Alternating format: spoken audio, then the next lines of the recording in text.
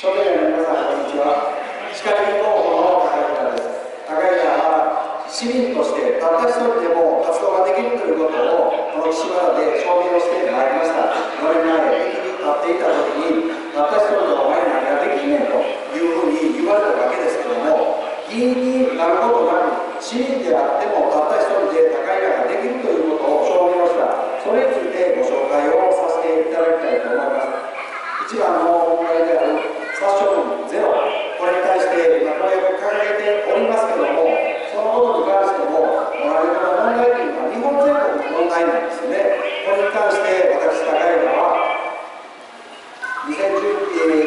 2010 2018年の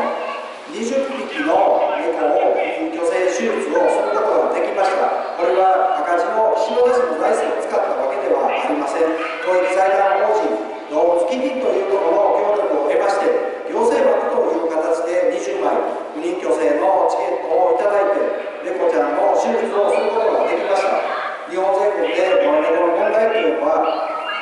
どこも言われておるわけです。けれどもそういう問題についてこの岸和田でも動物にも優しい岸和田市というようなキャッチフレーズを持っていけるようなそういうことに着手をしております。あとは議会のいろんな議員特権ですよね、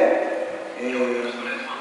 税金でコンパニオン付きの温泉旅行に行ってましたけどもこれも私高平が廃止をさせました。あとはボーナスなんかを2014年12月の議会では自作自演でですよ自分たちのボーナスを夏に遡ってあげるというようなこともしておりましたけどもこれをこの後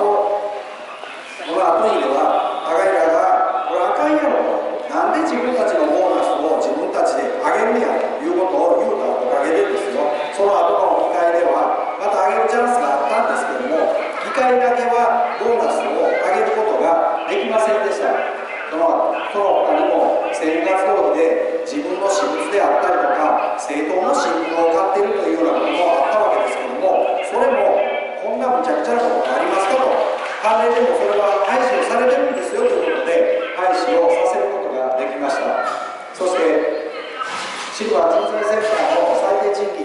賃金この岸和田では10月に本来上がるべきものが翌年の4月に上がるというような半年遅れの状態になっておるわけです大阪府下でもシルバー人材センターの賃金が上がるのは普通の最低賃金が上がる10月と時を同じにするそういうとがあるにもかかわらずですよこの岸和田では半年遅れになっているこれに対しても今着手をして役所のまたシルバー人材センターコロナ禍で契約の見直しができないかということも話をしていますそういったことでこれからの4年間も議会に入ればより幅広くそしてより深くそしてよりスピード感を持って私高平市民の生活が良くなるようにこの岸和田市が住みよい町になるようにというふうにこれからも尽力をさせていただき